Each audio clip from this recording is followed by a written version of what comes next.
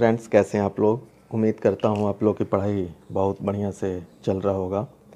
आज हम class eight का चैप्टर फोर डिस्कस करेंगे। इसका, इस वीडियो में हम उसके चैप्टर्स के पार्ट डिस्प्लेसमेंट रिएक्शन को कवर करेंगे। इससे पहले वाले वीडियो में हमने और भी चैप्टर्स के पार्ट्स को कवर किया है। तो जिन बच्चों ने उस वीडियो को नहीं देखा है, वो जो है हमारा चैनल है एन सोल्यूशन दीपक एकेडमी करके, उसमें जा कर के वहाँ से देख सकते हैं। और जिन बच्चों ने चैनल को सब्सक्राइब नहीं किया है, आप लोग चैनल को सब्सक्राइब कर लीजिएगा, ताकि वीडियो टाइमली आप लोगों को मिलता रहे और आप लोगों की पढ़ाई टाइमली होता रहे। दीपक एकेडमी में आप लोगों का स्वागत है। तो अब हम स्टार्ट करते हैं डिस्प्लेसमेंट रिएक्शन आप लोगों के चैप्टर में एक एक्टिविटी दिया है एक्टिविटी है आपका 4.8 मैंने पहले ही फिगर बना लिया है ताकि जो है टाइम बचेगा। अब इसमें एक बार जो मैं बुक में आपके दिया है, उससे रीड आउट कर देता हूँ। फिर मैं आपको जो है पूरा इसका प्रोसेस समझा दूँगा कि डिस्प्लेसमेंट रिएक्शन एक्चुअली होता क्या है। पहले तो मैं इसका डिफिनीशन बता देता हूँ। It is a chemical reaction in which one element replace another element in a compound मतलब एक एलिमेंट जो है, दूसरे एलिमेंट को जो है कंपाउंड में जो है डिस्प्लेस करता है। जैसे चूँकि डिफिनीशन मैंने बताया तो एक बार इसका एग्जांपल भी हम लोग देख लेते हैं। जैसे ये कापर सल्फेट है प्लस जिंक है तो इसका रिएक्शन होगा तो ये हो जाएगा जिंक सल्फेट प्लस कापर। तो यहाँ पे आप लोग देखिए, ये जो है कापर सल्फेट है और यहाँ पे जिंक है। तो यहाँ से ये कापर जो है रिप्लेस हो गया है यहाँ पे और ये जिंक जो है इसमें जो है ऐड हो गया है। ये जो है यहाँ पे ऐड हो गया। तो ये रिप्लेस किया है।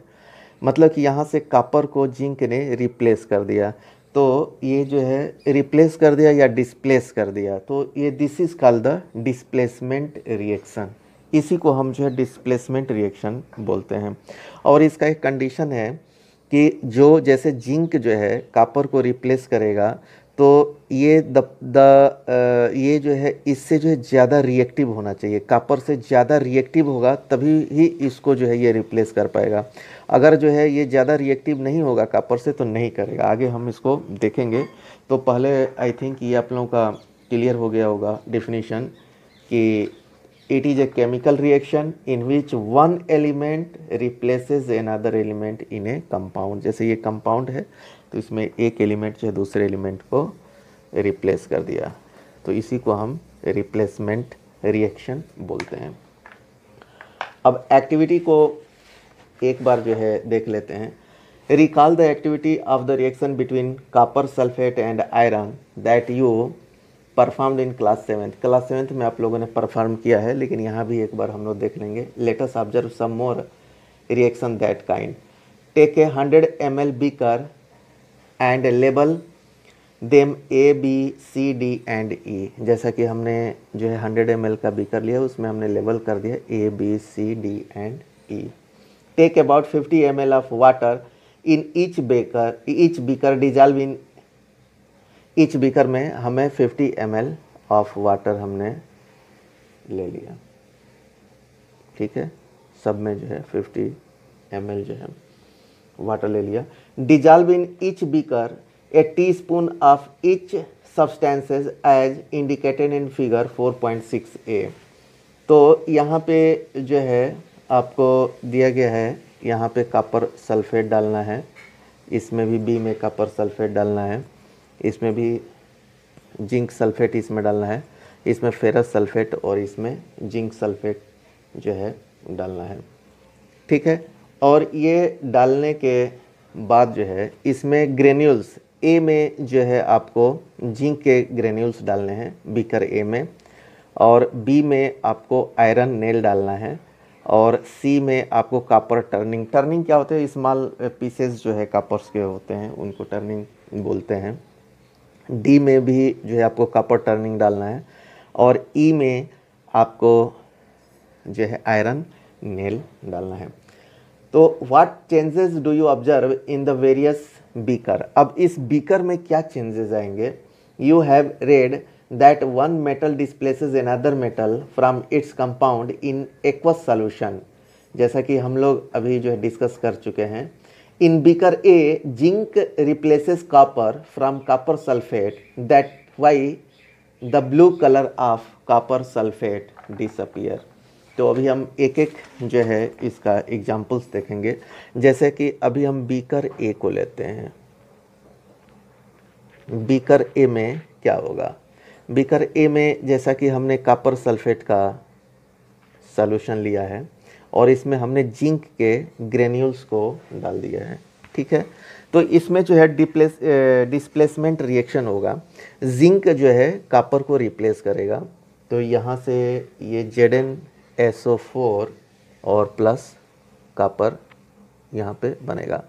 तो zinc is more reactive than copper यहाँ पे जो है zinc is more reactive than copper that's why zinc has replaced copper तो ये बीकर ए का ये आपका इक्वेशन होगा, ये रिएक्शन होगा। अब हम बीकर बी को देखते हैं कि बीकर बी में क्या केमिकल रिएक्शन होगा? डिस्प्लेसमेंट जो है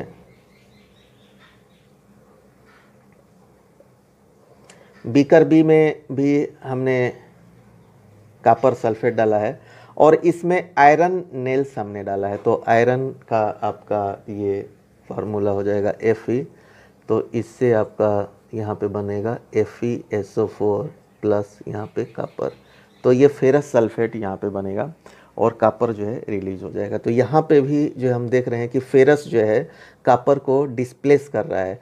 तो यहाँ पे जो है ferrous uh, sorry iron is more reactive than copper. ये आयरन जो है इस कापर से ज़्यादा रिएक्टिव है इसीलिए जो है यहाँ पे इसका बाड हो गया। फिर ये सल्फेट के साथ तो ये फेरस सल्फेट बन गया और कापर यहाँ पे रिलीज़ हो गया। अब हम सी बीकर सी को देखते हैं कि बीकर सी में क्या होगा।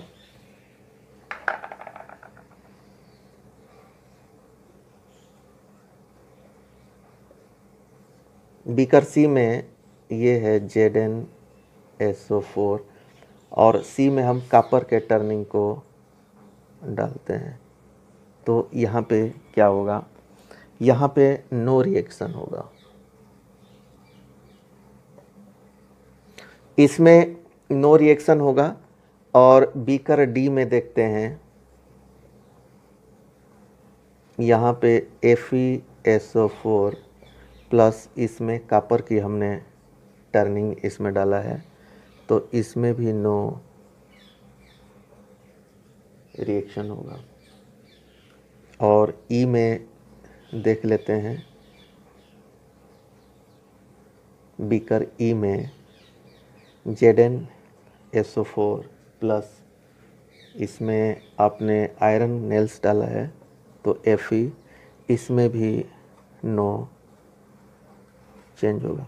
अब आप लोगों के दिमाग में ये क्वेश्चन हो रहा होगा कि सब में तो ए और बी में तो चेंजिंग हुआ, इसमें क्यों चेंज जो है नहीं हो रहा है?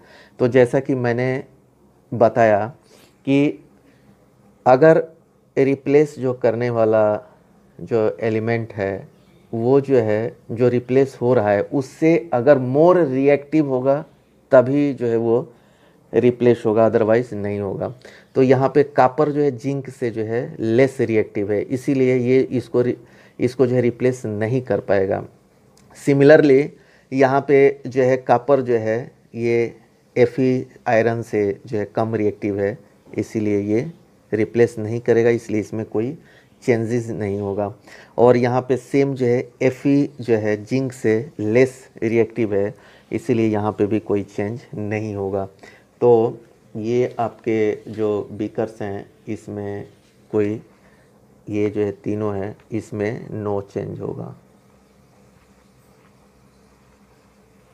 डिस्प्लेसमेंट रिएक्शन अब आप लोगों को आई थिंक क्लियर समझ में आ गया होगा।